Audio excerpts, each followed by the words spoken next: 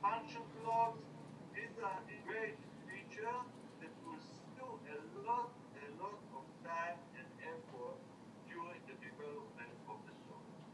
So in terms of usability, we made sure, and I touched only a few the main point of course, but we have made sure that you're not to write the same thing twice.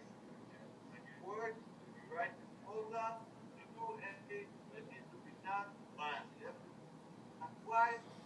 provide the, the, the basic